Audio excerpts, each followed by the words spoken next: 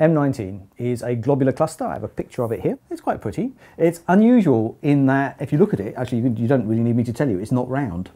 And um, you know, the defining feature of globular clusters is that they're round. And this is actually the most elliptical globular cluster of all the globular clusters in the Milky Way. This is the astronomy picture of the day. If you've never been to astronomy picture of the day, well worth a look um, from 2000, and it actually has a bit of a description of it, and it says, the reason for the cluster's odd shape remains unknown, but might be related to the cluster's close proximity to the galactic centre.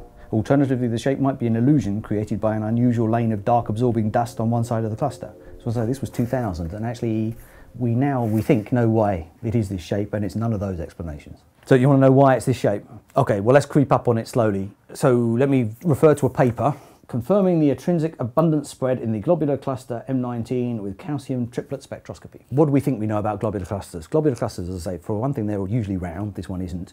But the other thing is that they're very simple in the sense that all the stars in them tend to be the same age and they tend to have the same metallicity, the same chemical abundances. The reason why we think that's the case is because all the stars in them probably formed almost all at once. They probably formed quite early in the lifetime of the Milky Way. Some gas cloud collapsed, formed lots of stars, it's just like a single generation of stars, so they're all formed out of the same gas, so they should all have the same properties as that gas. And the reason why that's probably the case is that globular clusters are sufficiently small that as soon as one star goes supernova, it kind of blows all the gas away and stops the process. So it's not like you can't have, so the way in galaxies, for example, we have stars with different chemical abundances is you kind of have multiple generations. You have one generation of stars they then die, they kind of pollute the surrounding gas with heavy elements, and then that forms another generation of stars. So you can have all these different chemical abundances all within a single galaxy. That typically doesn't happen in globular clusters because it's just a single generation, you blow the thing apart, and all that's left is the stars, all the same age, all the same chemical abundances. So that's the story, except in this case it isn't, because if you then go and actually study, so the way you measure the chemical abundances of stars is you take their spectra, so you split the light out into the colours of the rainbow, you see these little dark absorption lines due to the various chemical elements in the star that are absorbing some of the light that the star is emitting. And from the strength of those, that basically tells you how much of the chemical element there is. In that if there's a lot, it'll absorb a lot of the light, and so you have a, a very dark band. If it's only a little bit, it won't be so darkened.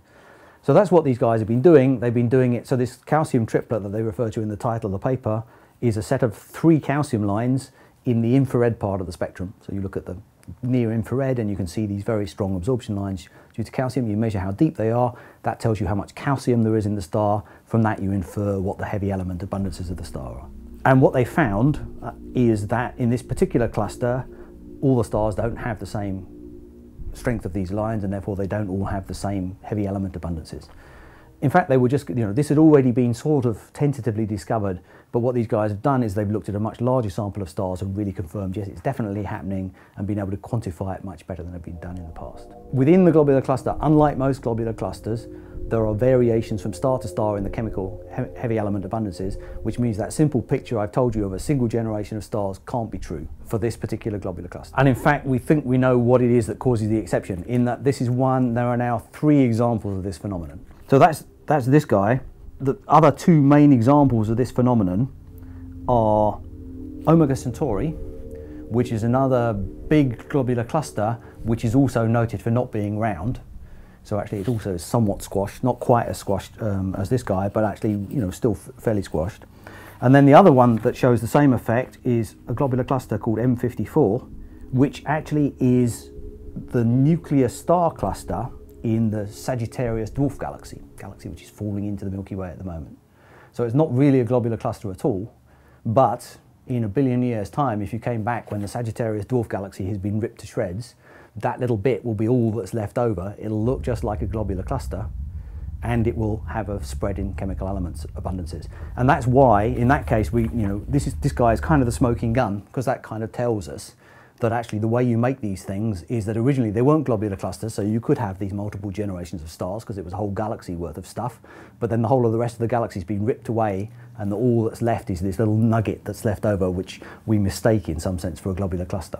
This is like the the tiny smoking remains of what was once a mighty galaxy. That's it. Well, it would probably been a fairly pathetic galaxy to start with, actually, but it's been, you know, it's a, it was a decent sized galaxy that kind of got ripped apart in the Milky Way. In some ways, is this not really a globular cluster? Possibly not. Well, I mean, it clearly is in that we've, you know, identified it as a globular cluster, and but it's it, what this is telling you is that there are probably more than one way of making a globular cluster and that this, this is probably quite an unusual route because it requires you to rip an entire galaxy to shreds. It's a bit wasteful to make one globular cluster, you've destroyed an entire galaxy.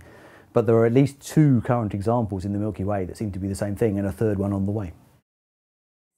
Because the detail is just washed out. I'll give you an example. So in astronomy, we often put filters in our telescope, something like this, that will restrict the wavelength range of the light that's